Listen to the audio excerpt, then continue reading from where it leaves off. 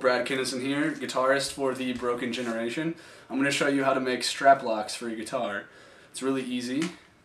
All you need are a screwdriver and washers that appropriately fit over the uh, strap joint on your guitar. So just go ahead, unscrew the strap joint right there, take it off, then fit the washers over the lock. Well, we believe that uh, that goldish color uh, fitting is is some sort of. It looks to me like it would go on piping or plumbing, so you could find something like that uh, at your hardware store, and then uh, just a straight up washer you could find at any hardware store. I recommend taking the screw uh, that you will be making a strap lock for to the store so you can blah blah blah blah blah. Find one that fits. Okay. Put them on there like that, and then just screw that sucker back on.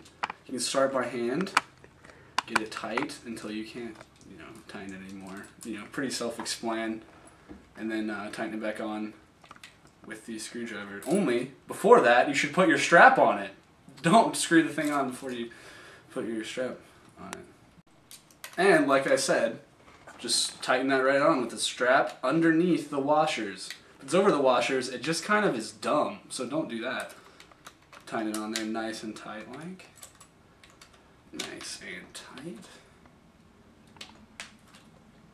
There you go, strap lock. And then, no worries, nice Gibson Les Paul Studio, not Epiphone kids.